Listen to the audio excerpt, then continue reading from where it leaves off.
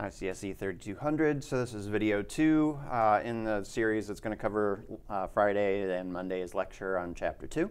Um, all right, so what we're going to do in this video at the very least, we are going to rename or refactor, and then we are going to uh, start our data class. Um, so I have made these changes so that I'm matching the IDs on the other side in activity main. Uh, let's see. Ooh, let's change this. Uh, I said I was done with this file, but this is a generic ID that I want to change. We're going to call that message box. Um, so glad I came back here and checked. But we do have white robot, red robot, and yellow robot. So we made more meaningful IDs on that side. And over here, I also want some more meaningful uh, variable names. So image view one, I'm going to right click and I'm going to refactor and I'm going to rename. And we are going to call this red robot image and I'll go ahead and hit enter and you see that it changes in multiple spots.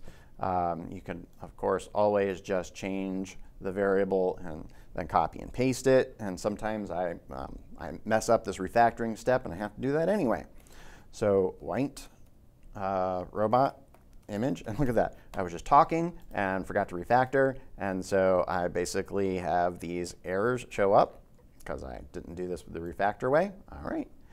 So I will just copy this and paste a bunch of times. All right, that was weird. Copy, paste.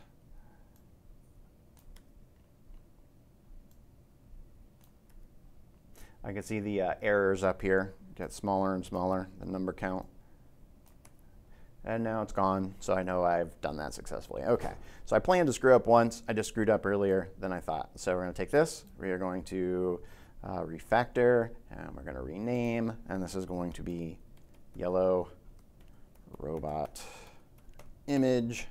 Hit enter, and it changes everywhere. Okay, that's good. All right, so we're going to create a data class so we can use our robots as a model for our program. Uh, we are going to do this by, under apps, under Java, we're going to right click on our, uh, whatever you have here. Not the, these two that have like a grayed out for Android test or test, but the top one here, um, com.bignerdranch.android, etc. For, for me, could be something different for you. So we're to go new, and then we're going to Kotlin class file, and we are going to select data class. If you forget to select data class, it's not a big deal. Uh, once you start typing the, the words data, then it, uh, it'll automatically become a data class, uh, but it won't give you the beginning um, curly braces, which is kind of nice. Uh, and we're going to call this a robot class. So this is kind of like where we're going to, well, it is where we're going to put our constructor for making robot objects. All right, so uh, when we get started here, we're going to have two different uh, values that robot is going to keep track of. Uh, the first one is going to be val, not var. It's going to be consistent. Uh, and this is going to be something like robot, uh, robot message resource. Um, again, may have named this something completely different last time, but that's okay. Um, it, it, will be of type int. I'll come back to that in a second. Uh, the last thing we're going to change is var, or put in, keep track of, var my turn, and that will be of type boolean. So that one's pretty obvious. Uh, is it this robot's turn or not? Red robot starts off. Well, actually, they're all going to start off with a no uh, but be large. And after that, anybody else that is a yes will be large. And the no's, the, the false Boolean, my turn, will be small. That's the goal. We'll get there in a bit. Okay, so robot message resource, that is basically going to um, be storing the red robot message, the white robot message, etc. And it is going to be a string, and yet we say it is uh, int. Um, and that's because this is uh, going to be an ID generated by the R class, and um, IDs are always ints. So it feels a little counterintuitive at first, but it works. Okay, so this is actually good for now. Uh, it will get changed before we're done. Um, all right, so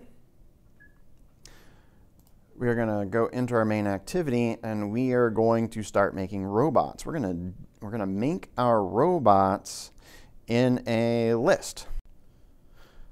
We're going to go private val robots and we should already have these string resources created so we don't need to do late init and create it later.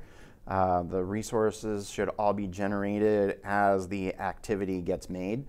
Um, so private val robots is equal to list of, and um, let's see. We are going to make three robots. And so we're going to call the robot constructor, which we just made in the data class. And it is going to have something and then false. Uh, that something is going to be an error for now, but that's okay. Um, and you know, I can just copy and paste this. Look, it, it now knows that my turn is false, but it doesn't understand why I put uh, a blank there to begin with. We'll get rid of that last comma. All right, so my, my turn will be set to false for all of the robots. I suppose I could start my game with one of them being large, in which case I would go like true, false, false, but that isn't the design I had in mind. All right, so we are going to erase this underscore. Now in Kotlin, if, um, if you have functions where you don't necessarily have to use a parameter, you can get by with an underscore to say, I'm just ignoring this. But when we created our data class, we didn't set it up that way. So this is um, reporting as an error. All right, so we are going to put in r dot string dot and then the red robot message. Okay, so now the red robot has, uh, is keeping track of its uh, string resource for its message. And we're going to do that for the other guys. r dot string dot white robot message and r dot string dot yellow robot message. Okay. Um, now this is grayed out because we haven't used robots. Uh, and we talked about list of. Uh, list of is an immutable list, so I can't like take out a robot or, um, or put in an extra robot. I can, however, um, change this attribute from true to false. I haven't changed the robots, I just changed an attribute of the robot. All right, um, I'm to do one more thing before I leave this video. Hopefully it hasn't gotten too large. I'm going to show you, like I did in class, that we have a, a structure that kind of parrots the if, else, if, else, and that is the when structure.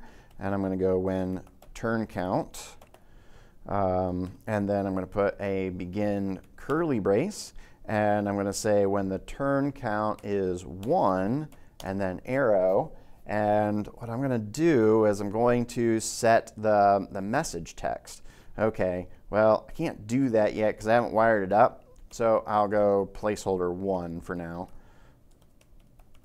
And this is still an error because it's not like it understands why I'm returning a, why I have a string in there. Um, and so since that is an error, all right, so placeholder 1, let's try that. Okay. There we go. Um, so I will go, okay. So I didn't have to place a comma, no semicolon, anything. I hit enter. This ends up in the right spot. It's got a nice friendly syntax, this when structure. It is, um, well, when is used in Python, and uh, it's like the switch uh, statement in Java. But I do like the syntax better than the switch statement. And then I'll go placeholder 2,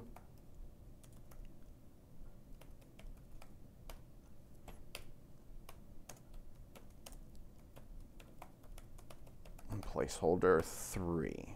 Okay, and, and I can put in else here, and I'll go placeholder other. All right, so that is like a if else or if, else if, else if, else if, else structure. Typically, if you have uh, multiple else ifs, then maybe you want to go with this when structure. All right, let's get this wired up. This is for the message box. So we're going to come up here. I'm going to go private late init var and message box will be of type uh, text view.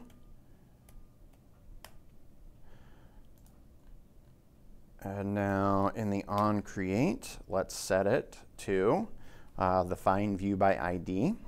So message box equals find view by ID r dot id dot, and this is why I'm glad I went back and found that I didn't change that um, ID on the other side in our activity underscore main. Now it's all hooked up. So this placeholder one is going to say message box dot set text to red turn. Okay, now this is temporary. I just want to show you that it works. And then we are going to do this again and again. Now, uh, we have it so that the strings are storing those. Um, and I guess they also have as a string resource. So I can just go at string forward slash and then red, uh, it's not showing up, red robot message. Oh, that's because I have it in double quotes.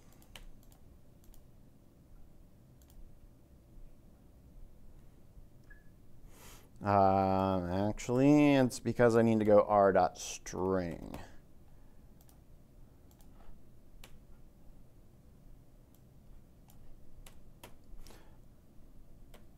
There we go. Uh, okay, so I like this a little bit better, even though this is all going to go away. So r.string dot white robot message